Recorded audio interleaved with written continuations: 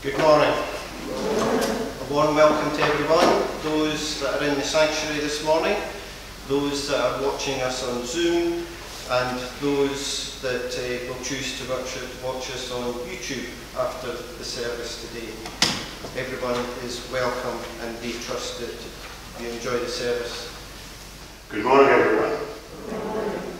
St. Paul wrote, Humble yourself under God's mighty hand, and he will lift you up.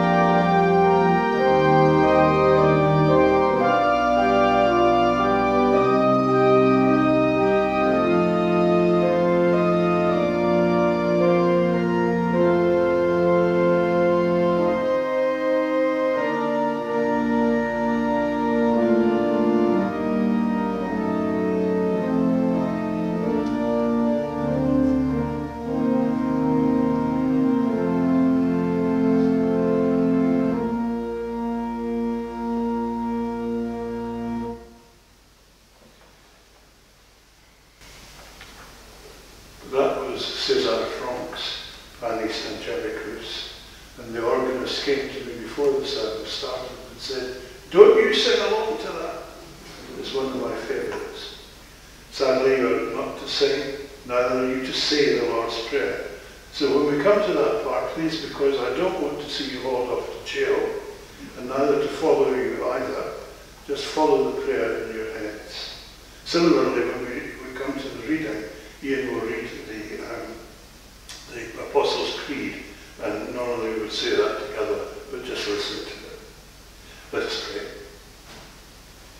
Living God, creator of the ends of the earth, source of all that is and all that will be, giver of life itself, we join together to worship you.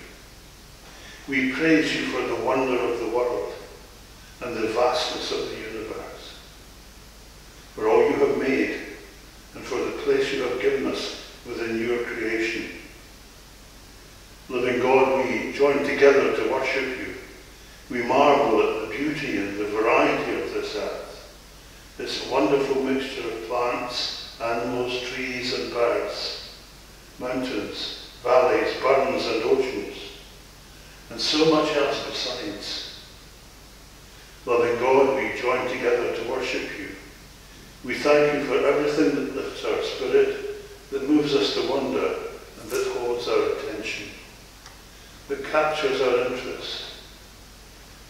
Loving God, we join together to worship you. We rejoice that out, out of choice you brought order. Out of chaos you brought order. An order we can see throughout the universe, which we can depend upon, explore and understand. An order that reflects your sovereign purpose and reveals your guiding hand.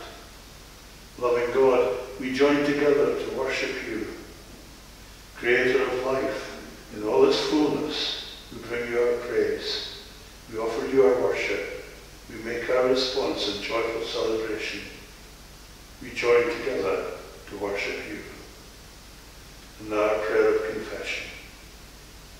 Lord of all, you call us out to go out into the world, to share our faith and to show your love. You call us to go out in the name of Christ, to make known his name and make real his presence. You call us to go out through the power of your Spirit, to live for you and for other people. Forgive us that so often we come to you but fail to go out. Forgive us that so often we easily turn in on ourselves and away from other people. Forgive us that having received so much, we give so little. Renew us, renew us now through your Spirit. Restore us through the love of Christ. Remake us in your likeness. Assure us of your forgiveness. And send us out to live and work for your kingdom to the glory of your name. And now be with us as we listen to the prayer that your Son taught his disciples to say. Our Father, who art in heaven, hallowed be thy name. Thy kingdom come, thy will be done on earth as it is in heaven. Give us this day our daily and forgive us our debts as we forgive our debtors. And lead us not into temptation, but deliver us from evil. For thine is the kingdom, and the power, and the glory, forever. Amen. Now listen for the word of God.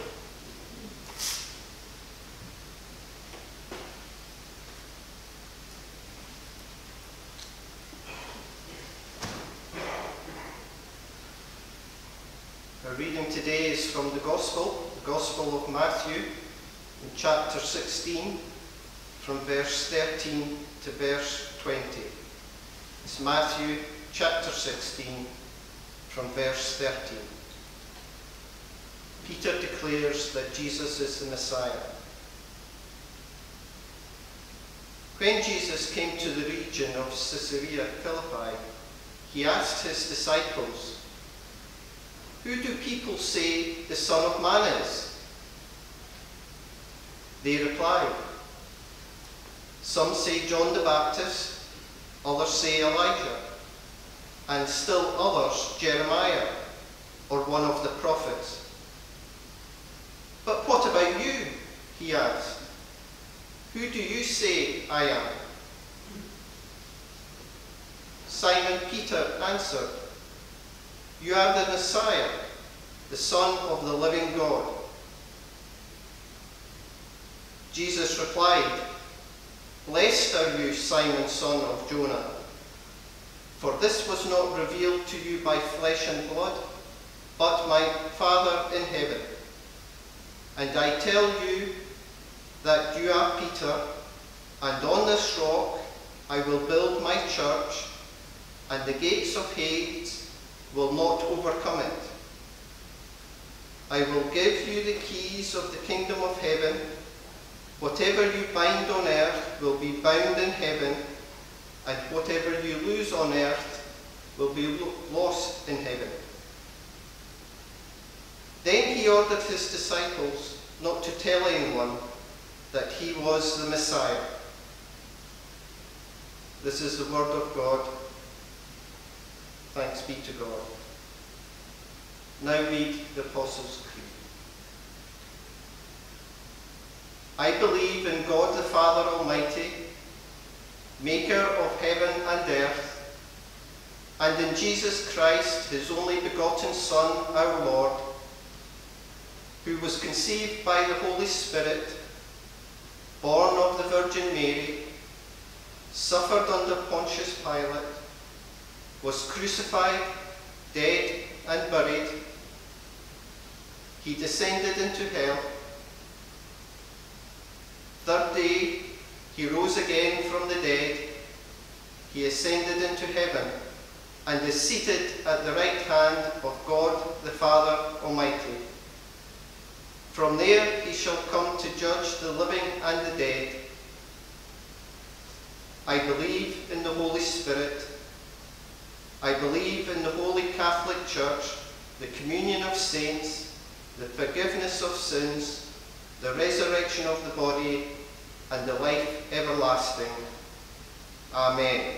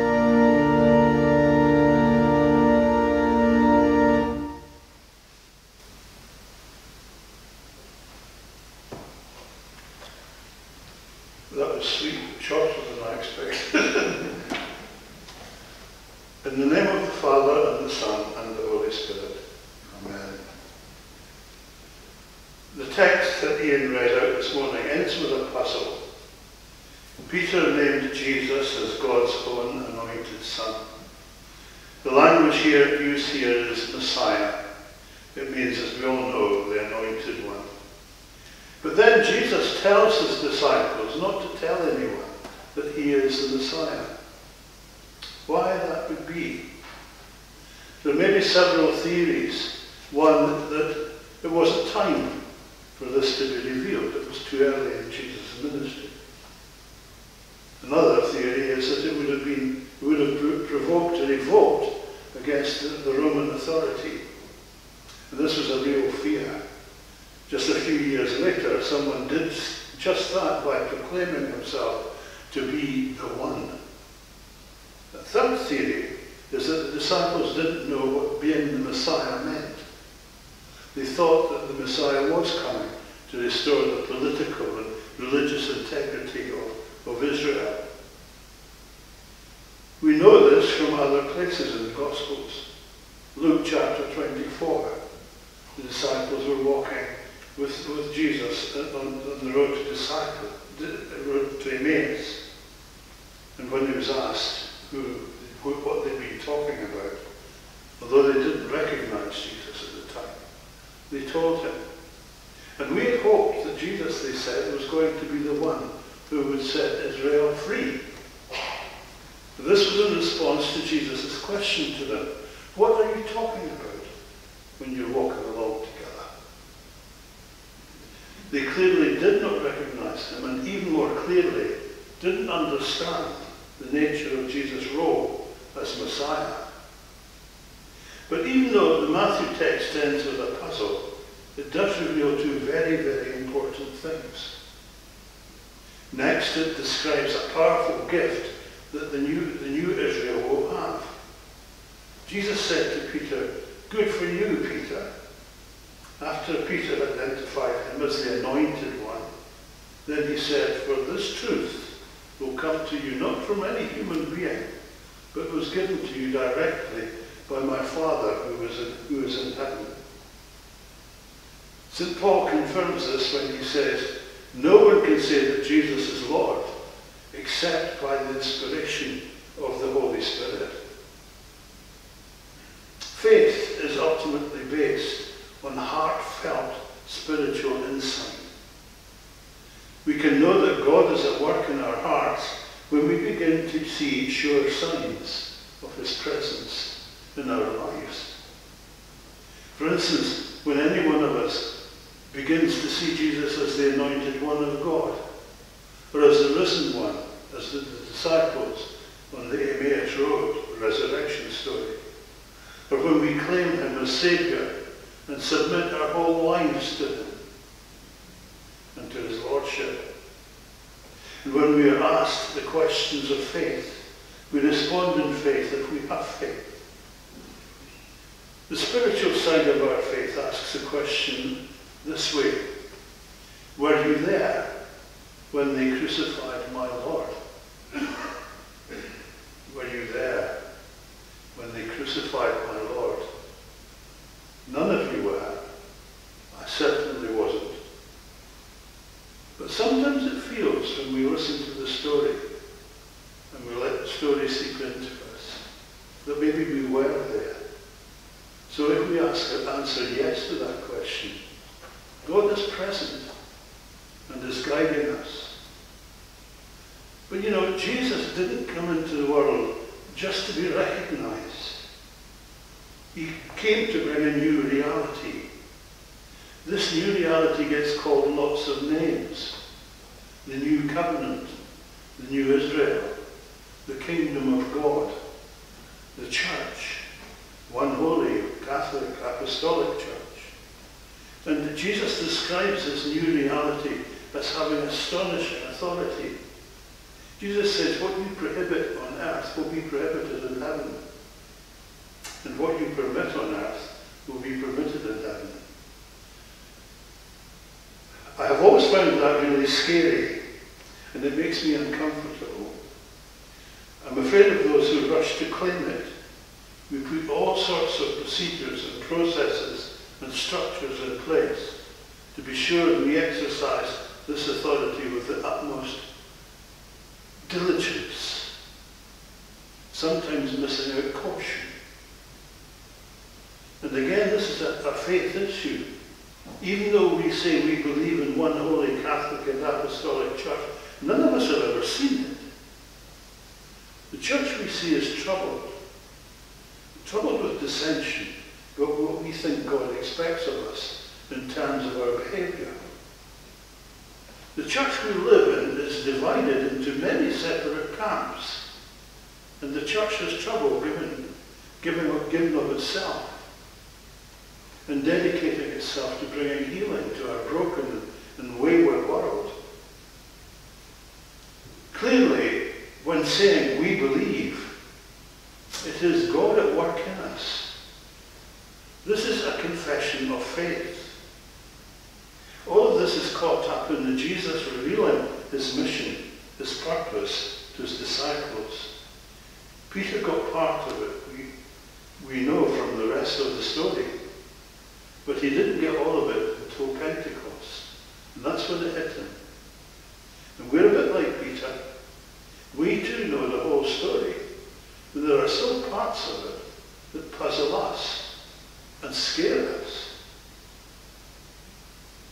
But even though we are puzzled, and even though we are scared, we need to honour the faith that is in us and know that God is at the heart of our ability to confess Him and confess our faith.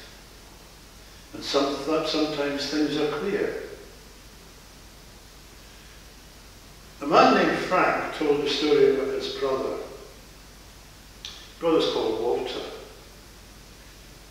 He said, we always wondered what Walter was good for. He was a bit of a wind-up merchant. He was a prankster. Never took anything seriously and was always in some kind of trouble. Trouble of his own making. Nothing serious, just a bit mysterious. We were together in the World War, in the Royal Army Service Corps. We were ordered to attack. We were scared to death, all huddled in a foxhole.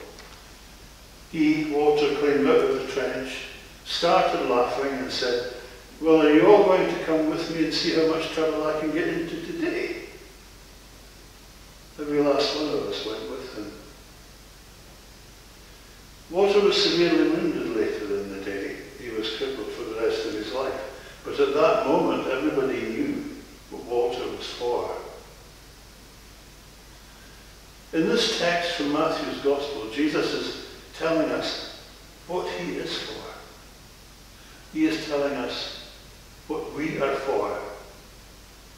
It cost Jesus his life. Even as church members, we have been wounded in various ways in some distant places. Martyrdom still goes on. If you are puzzled and scared, you aren't paying attention. If you are puzzled and scared and still say, we believe, then you can be assured that God is with you. Jesus came to us with a mission. Not only to recognize him as Saviour and Lord and Son of Man and Messiah and Anointed, but he gave us a commission to love him and to love each other as we love ourselves. And none of us would do harm to ourselves knowingly, and neither should we do harm to anyone else irrespective of who or what they are, knowingly. Our mission is to follow Jesus in his footsteps and love when we can,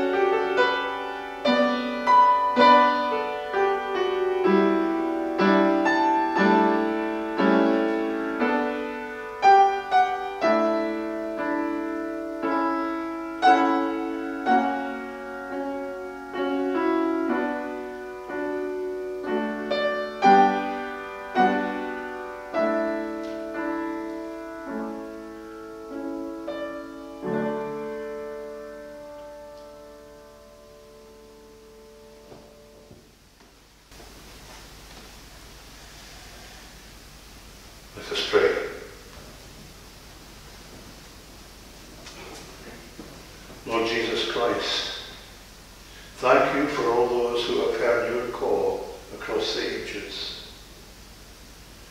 All those from different walks of life who have come together at different times and in different ways and in different places that ought to be your people. Lord Jesus, your call, your surprising call, for, your, for, for that call, receive our thanks.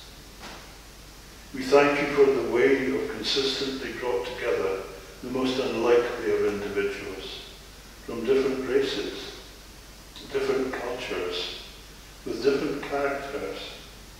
with different gifts, to become your church. Lord Jesus, for your surprising call, receive our thanks.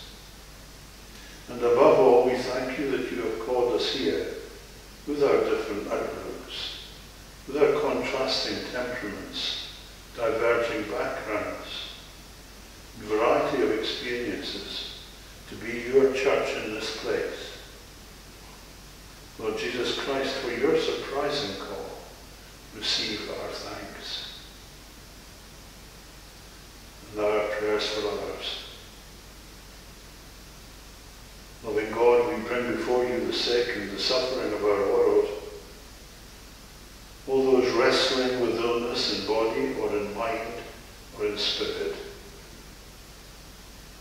We pray for those in body, enduring physical pain, overwhelmed by disabling disease, waiting or recovering from an, an operation or further treatment, and fearful of what the future may hold, or living with the knowledge of terminal illness.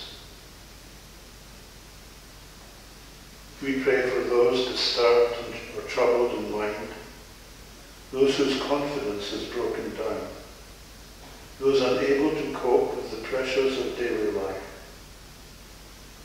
those oppressed by false terrors of the imagination, those facing the dark despair of clinical depression. We pray for those afflicted in spirit, those who feel their lives to be empty, or whose belief, beliefs are threatened, or who have lost their faith, or who worship gods of their own making, gods with no power to satisfy, or those whose hearts have become bitter and twisted and unloving, their minds dark. Loving God, we pray for all those who work to bring wholeness and healing to the sick. Doctors and nurses, surgeons and all medical staff, psychiatrists and counsellors, clergy and therapists, and all those who work in the care system. Support them and all who share in the work of healing, and all who strive to bring relief, all who minister to others. We pray for, the pray for those who uphold the law, for politicians, Police Scotland. Grant them your wisdom your guidance and your care, your compassion, your strength